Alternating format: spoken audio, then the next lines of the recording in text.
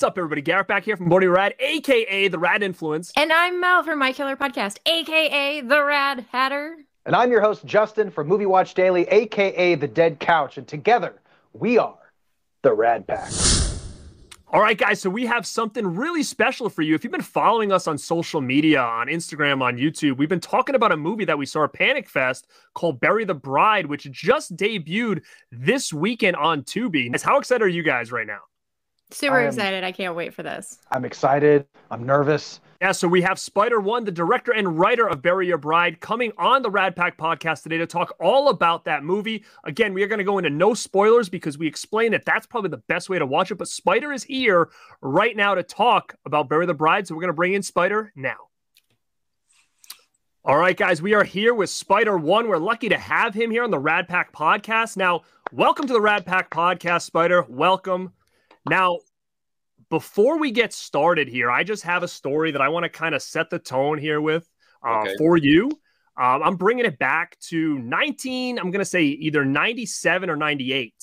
Okay. Um, Providence, Rhode Island. I was about 30 feet from the stage on the left. And you, Powerman 5000 opened for Primus. And it was probably like one of my first concerts, like as a as a young preteen. Uh, and it was the first time I ever seen Powerman 5000 and you guys opened for Primus in Providence, Rhode Island at the Strand. I don't know if you have any recollection of that. Of course I do. Yeah, that was that was '97. I believe may have, maybe it bled over into '98. Um, yeah, opening for Primus on the I think the album they were promoting is called the Brown album, which is it was title. the first leg of the, the funny thing about that tour was great tour, um, but the the funny thing about that tour was the first leg of the tour, the the, the band before us was this band called Buck-O-Nine, which was like a oh yeah ska band. Oh yeah, yeah, yeah. but sure. then the second half of the tour, this this at the time unknown band that was was going to open the show, this little band called Limp Bizkit that no oh, one. Had oh yeah. and uh, we're like, who the fuck is this? Limp Bizkit and they wow. came on the tour. Nobody knew them, but by about halfway through, they had blown up and been, and they were just massive, and they should have been headlining the tour. And like they went from being, I've never seen anything happen so fast, from going to you know from complete unknowns to like hugely famous. That is wild, and I'm trying to think if Buck-O-Nine maybe opened for you guys. I, they may have. It was so long ago, yeah. but I do remember you guys coming on, and it was kind of my first introduction to you. And uh, I ended up picking this bad boy up right there at the merch yeah. stand.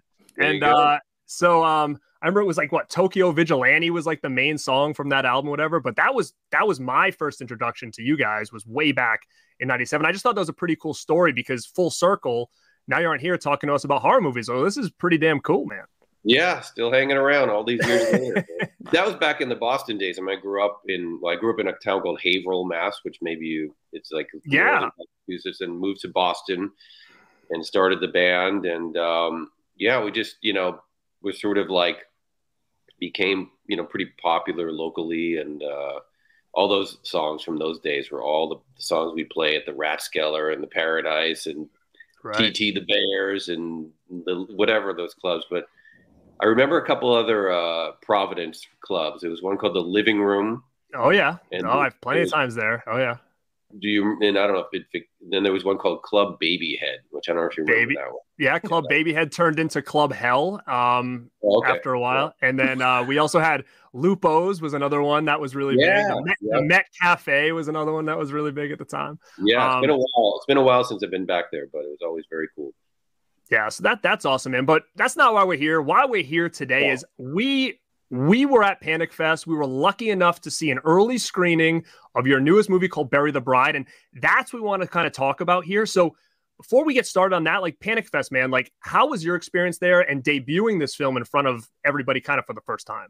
Yeah, I mean, I love. I, we uh, I was lucky enough to be in Panic Fest last year as well with my movie Allegoria. That was the first time I'd ever been to Panic Fest, and um, you know, there's a million film festivals, you know, but Panic Fest really is a unique and special film festival. I mean, they really do champion independent filmmakers, up and coming filmmakers. I mean, they, you know, they they showcase bigger movies as well, like Evil Dead Rise and stuff like that. But for the most part, they really are true to supporting newer more unknown films. So uh, I was hooked once we when we had Allegoria there. It went great, so I knew that I, you know they were the first people I called when Bury the Bride was wrapping up. We didn't even finish yet, and I was like, I think we can make it.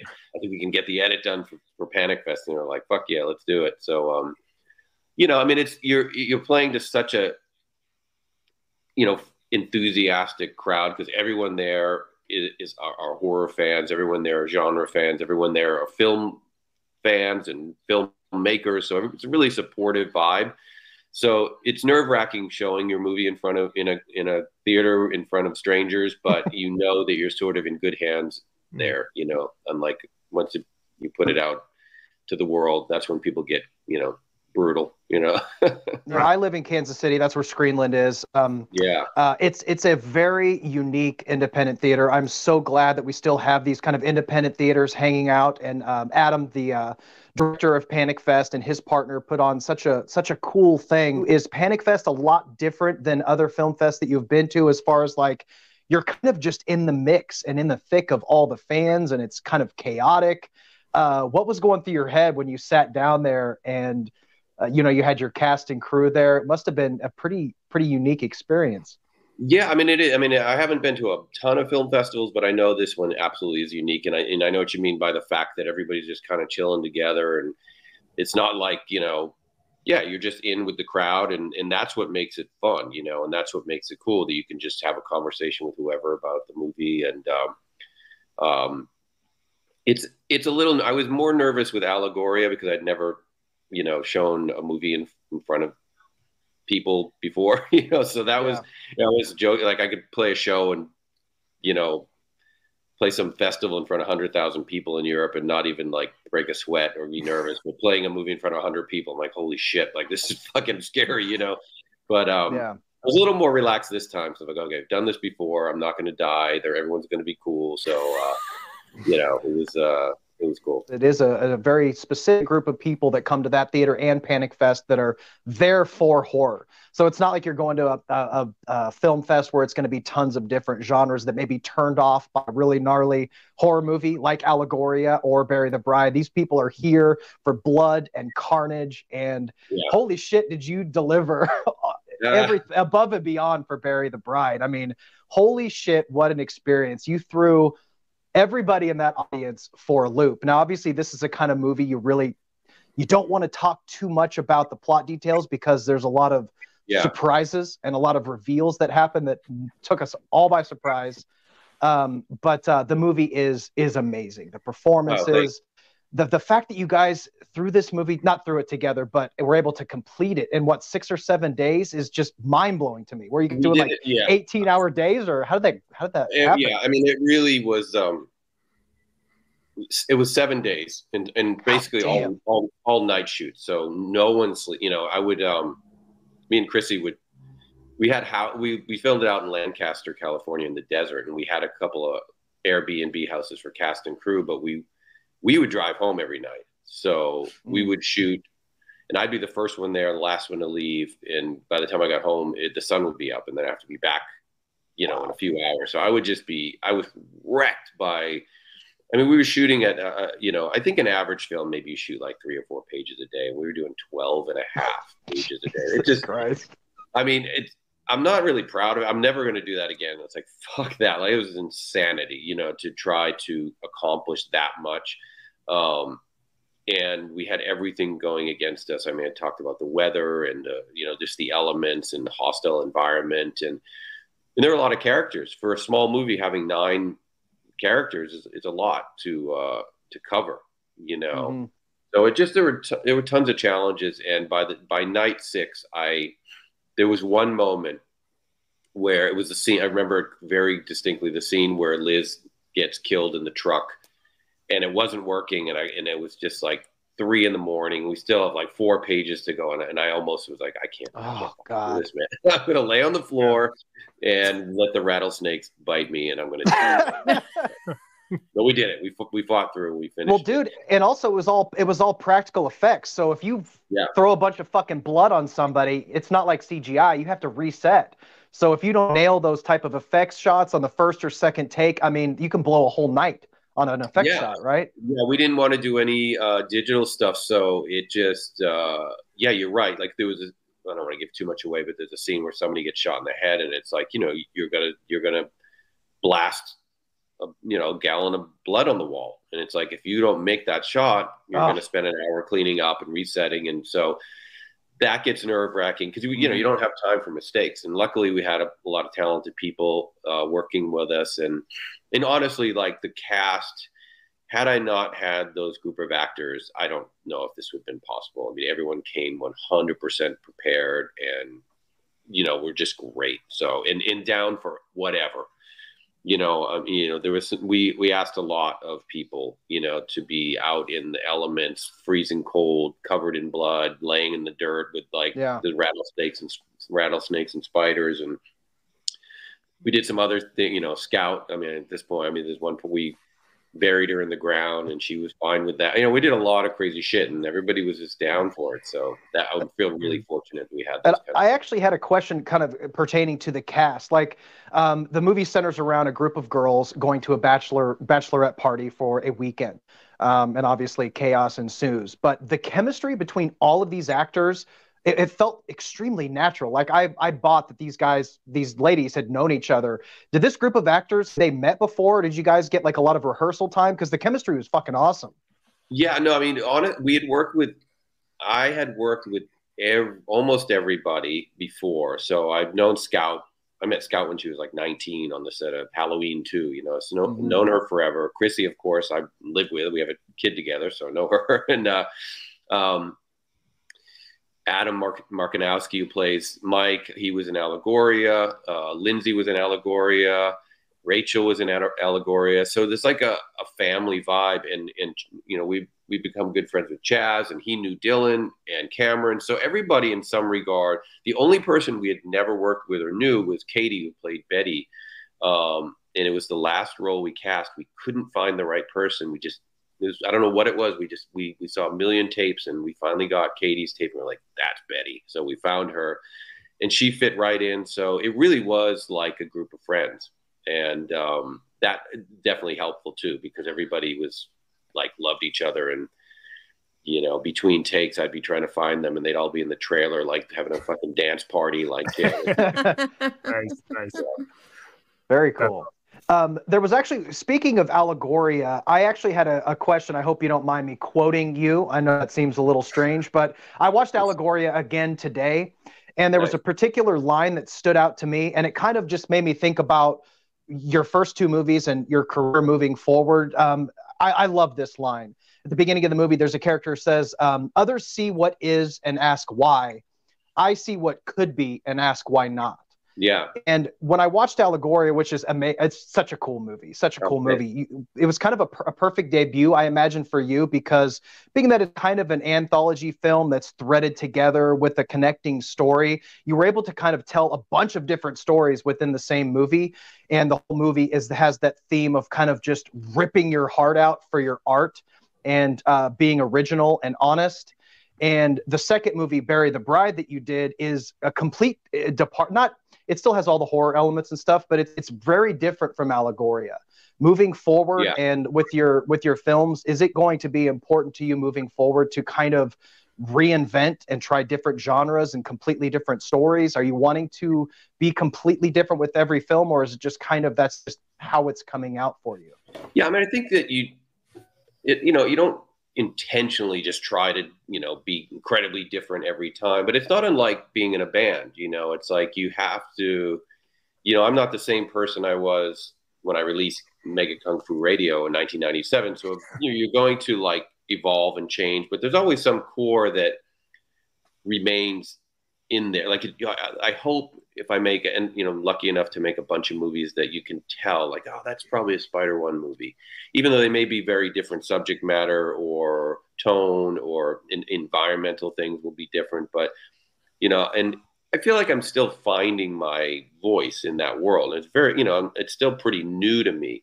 Um, allegoria for me was like a really fun one because it just felt super personal you know because it is you know on a, in a heightened sense taking these kind of ridiculous characters and their obsessions and you know sort of their pretentiousness and all this Mhm. stuff but but it really did like there is some truth to all that in my life. Just this idea of trying to survive as a creative person, and you're you're constantly doubting yourself. You're constantly trying to have to inspire yourself. You're constantly one day you think you're brilliant, the next day you think you're a fraud. You know, it just you go through all this roller coaster. So that movie for me was, you know, I still, you know, that I mean, Allegoria and both Bury the Bride are kind of like my indie punk rock records. You know what I mean? Like, and I hope that the next one, I think, you know, it's like let's get in a real studio and make a real record. You know, I feel like yeah. that's going to be the next one. We're going to try to step up. Um, a couple notches and do something, you know, like with Bury the Bride. I mean, there was there was no time to experiment or take. Sometimes we only had time for one or two takes. So mm. the next the next movie, which we're shooting in June, we're gonna like we're taking some more time with it, and uh, I think I I just I hope that this one will be the one that's like okay, there it is. Like there's the this is what it's all kind of leading to. You know what I mean? Mm-hmm. How the hell are you balancing? Because you're you, you start tour again. You're on a little break right now. You start in May, right? Yeah, no, I'm an idiot. I just never. How the hell are you gonna do it? How the hell do you? I don't know. I honestly don't know. We got back from tour, and I don't remember what I went to Australia. I don't remember. Did we shoot Bury the Bride for? I don't even remember. It's like I never stop. So this month, well, I'm going. I have a show at the end of this month in Houston. Then I have one month of prep for the next movie. Wow. Then we shoot in June to July 1st, we wrap, and then I go on tour July 7th. So yeah, not a lot of not a lot of downtime, and trying to finish up a new record in the in the meantime. So, you know, I keep telling myself like at some point I will take a break, but it hasn't seemed to happen yet. Kind of a sleep when you're dead kind of a thing going on. Yeah, right? yeah. I got a lot of time to make up for. You know, I started this film thing late, so I got to get moving. Well, sure. you're doing a great job with it. I did have actually a question about Bury the Bride. It was such a fun ride, and we all enjoyed it uh, a great deal at Panic Fest. And we're just kind of curious as to how you came up with this idea. To me, this felt like the movie. This felt like kind oh, of a cool. blockbuster movie. Nothing about this screamed low budget, small budget, anything. Yeah. I, th- I thought it was absolutely great from the casting, the writing, the cinematography. How did you come up with this idea? Yeah, I mean, it was we. I co-wrote it with Krsy Fox, so I, she actually came up with the sort of the the first germ of the idea, and about this bachelorette party and uh, this sister relationship because she has two younger sisters, and I feel like she's always, you know, being ultra protective of them and you know well one of her sisters is married and she approves of her husband but her younger sister's dating and it's like she's always very you know suspect of who her new boyfriend is or whatever you know i think that there's a lot of that reality in the story that came from from her and her relationship with her her own sisters and that was the uh, that was the beginning of the idea. But you know it, it started out as just kind of like this these bad guys you know um, that show up and there's something not quite right about the fiance. And and then i was like ah oh, we got to take this further and that's when i don't know if i want to give it away but there's a twist in that these guys aren't quite what they appear to be I was like, what if we did this? Is this really stupid or is this cool? So we're like, fuck it, let's do it. So we, uh, that's when the movie just takes a total left turn and I was really happy that apparently no one saw it coming. I didn't know, you know, because obviously living with the movie for so long, you know, you, you just assume that people are going to see that coming. But I've had, I've only only heard people that you know saying that they did, did not see the twist coming. So I was really. I can assure you, none of us saw that no. twist. None coming, of us saw. It. We looked happened, at each other like, we loved it. That's yeah. yeah it it was a it was kind of a perfect maneuver, I think, because there was a point in time where you know even Justin kind of reached over and he's like, you know, he, he's like, I'm not sure where this is going because it just seems very standard. And then all of a sudden, when it hit that that left, he looks, he's like, all right, now we're talking. Like it was just, yeah. it was such a good hit, and you could feel that something was coming. I'm like, something is going to pop off here. I don't know what the fuck it is, but it's about to get weird. And then, oh yeah. man, I love, I love oh, that turn. Yeah, I mean, because you know, you you you do that kind of move, and you hope. Mm you know, it's not like, you know, you, you really hope people aren't gonna be like, oh man, I figured that shit out in the first 30 seconds. Like, you know, mm. so we tried to drop subtle hints along the way, but um, yeah, so I was really happy that that, like, that worked. So the, I was, I was good with the rest of it. You know what I mean? Nice. Yeah, we've been trying not to give away the twist at all. So when we're like doing our reviews, we're like, don't watch the trailer, don't ask anybody about it, just go watch the movie. yeah, for yeah. sure. I mean, it's I know it's out, so I want to talk about it, but then it just came out yesterday officially, so right. you know, try to keep some surprises. Did yeah, you get to cut the trailer, or did Tubi cut the trailer for you? No, uh, we did that ourselves. Yeah. Okay, it was good because that's that that shows because it didn't give away the entire movie. yeah, I mean, in the trailer. We, we uh, you know, we we went back and forth on how much we wanted to give away because there's a certain aspect of the twist that would make people want to watch the movie. Right. Mm-hmm. And once That's you give tough. it away, you know, you give it away. It's expected, mm-hmm. yeah. Like yeah. people will just kind of be waiting for it at that point. Like, okay, when's this stuff going to happen? But yeah, you're right. I think the less people know and the more word of mouth that gets out about just check this thing out, I think it's really going to start to snowball. And I mean, I don't know if you know, but like, how how has the feedback been these last couple days being, you know, debuting on Tubi?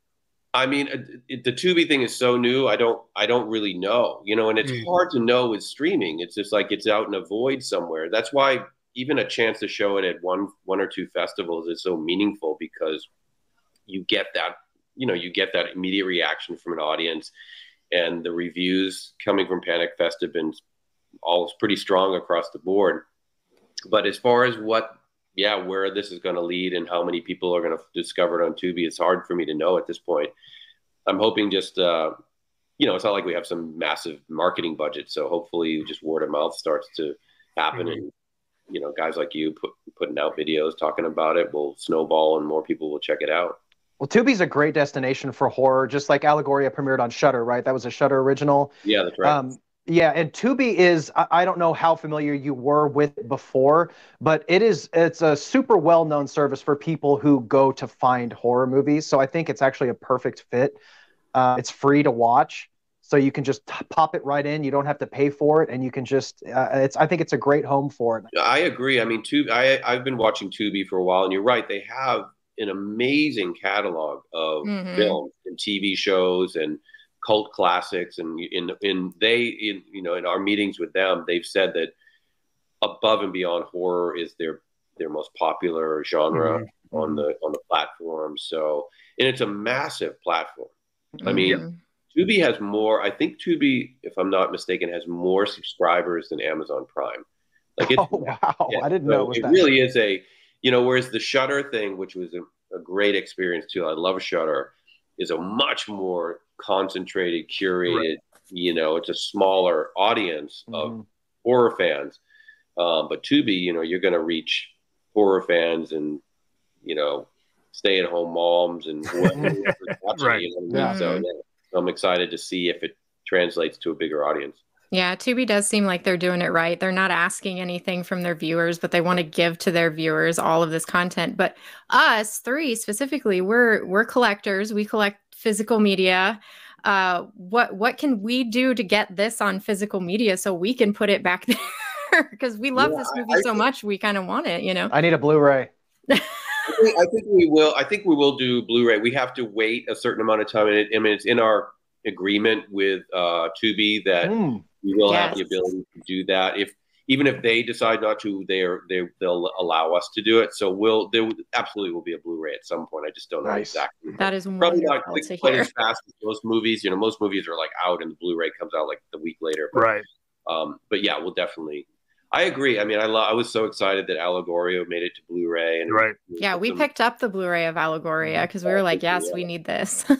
yeah. So, um, yeah, I can say ninety nine point nine percent sure that. Nice. Yeah. That's great news. Yeah, like we're we're all big collectors, obviously now, um, and again, we wanted to talk about this movie more and and even ask you to be on this because it's not we like a lot of the same stuff but it's not this it's never like we all really like see something brand new and we're all like oh it was awesome. Like so it's very rare for all of us to be really on the same page yeah. with a with a new movie. Um i could be more guilty than them too when it comes to that but we just really dug it and wanted to get the word out to make sure like hey that this thing is going to maybe see the light of day when it comes to physical media and stuff like that and more people get to check it out. But um with you like are you being involved with music and movies like are you a collector of anything do you like like to to collect things or have any kind of hobbies as far as that I used to. When I was younger, I I was definitely into collecting. I mean, ever since a young age, like when I was a kid, I would collect. Uh, I collected comic books, so I have a pretty pretty cool uh, co- comic book collection that I've saved since I was like nine, ten years old. So I'm probably worth a lot of money. something but you know, and then I would collect like action figures. I was I was yeah. big into, and then I and then I just heard hit a certain age. I was like, what am I gonna do with all this? As you're looking behind us right now, and you're yeah. like, what are you guys gonna do with all that stuff back I would, I would put it in a, in boxes, and then it would stay in the box, and then I'd move, and it would stay in the box, and I'd move again, it would stay in the box. So I was like, okay, I'm not buying any more stuff. Every once in a while, I'll find something, or somebody will give me something, or I'll save like instead of having, you know 800 Spider-Man figures. Like I'll have the one that's really cool. You know what I mean? So, um, yeah, I, I haven't. I've, I've sort of given up on my collecting days, but I still have a lot of crap hanging around the house and in boxes. well, I say Mel will take uh, any extra comic books you have lying around. She'll take those off your hands. I do. Like... I collect comic books as well. The Crow being one of my favorites. So it's interesting to hear that you were collecting comics too. yeah, I was uh, uh main, mainly Marvel stuff. Um, from back in like I mean I'm old older than you guys, so I was buying books in, in like the 70s and 80s. So I have a ton of Dang. like Avengers and uh, X Men and Power That's Man. Of course, you know I have like yeah, of course, of course. you probably have some great stuff. Yeah, I mean I've got a lot of a lot of uh, stuff. They're all boxed and bagged, and I've kept. I mean I've kept them since I was a kid. You know I remember awesome. I. Yeah, so um, I've never checked the value of them, but I don't want to sell. I don't want to sell. I don't know. They just they just sit there, but I don't really want to sell them either. Mm, that's the thing about being a collector is like you know your stuff is worth so much money, but you didn't collect it to have the money. You wanted you collected well, it because you love yeah, the stuff. Yeah, I mean here's here's the how I know I'm still have that collector mentality. So when I when I remember when I stopped collecting comics, I don't know what it was. It, it was like 10 or 11 years old. I'm like I'm not collecting comics anymore, and I stopped right.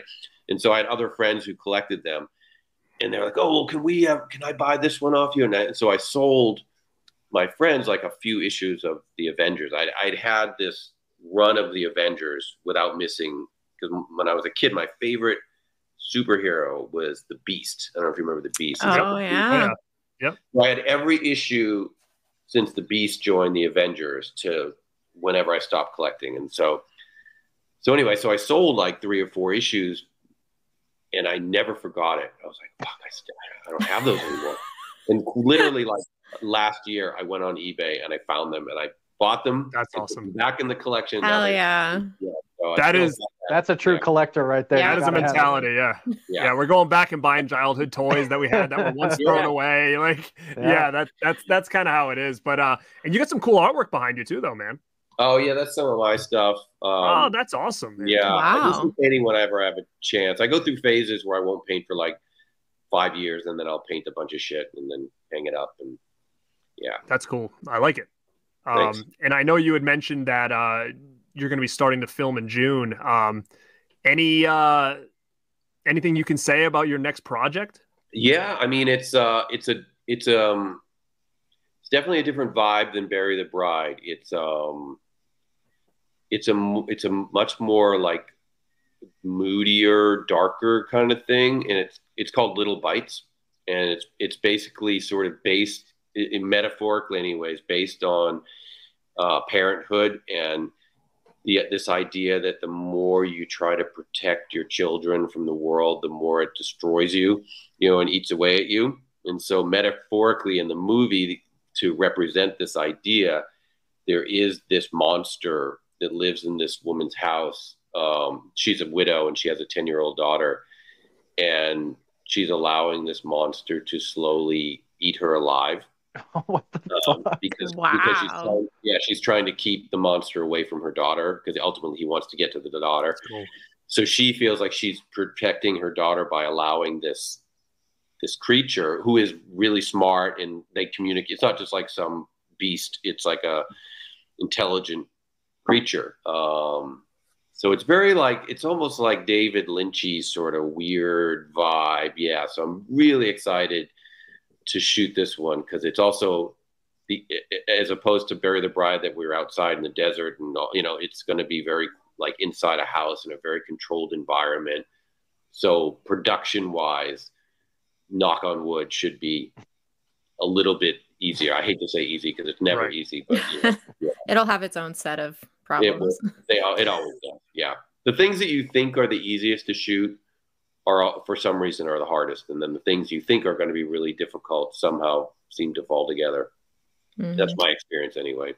You know? That movie that sounds like sounds, it's going to be right yeah, up our alley. that sounds insane. I, yeah, I'm really excited about it because it deals with a bunch of like societal and institutional judgments on on uh, being a parent, and so it's but it's all re- represented in this really dark, you know, horrific way. So, I'm, yeah, that. I'm excited to get started on this Is one. this something that could potentially be uh, a Panic Fest 2024 kind of it deal? Seems like uh, it seems like that seems to be my schedule, right? Like, We'd love to have you again, man. When we debuted Allegoria, we started shooting Bury the Bride like 10 days later.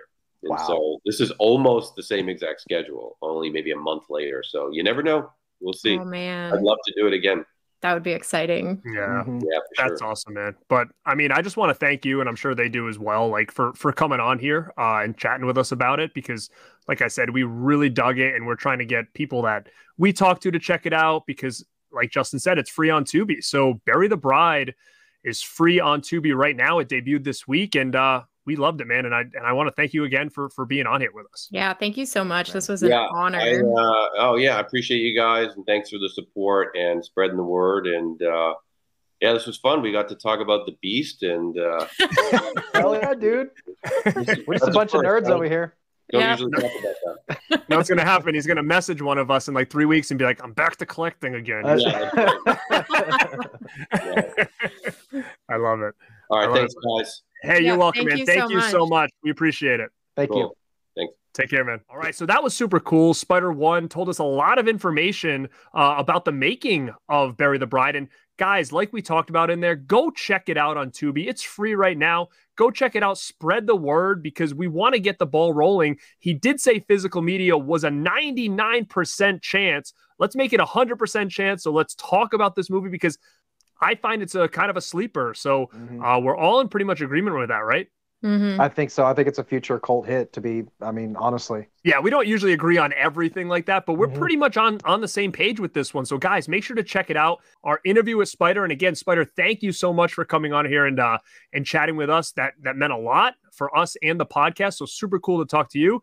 This is the Rad Pack signing off, and like always, stay rad, stay weird, and stay killer. You.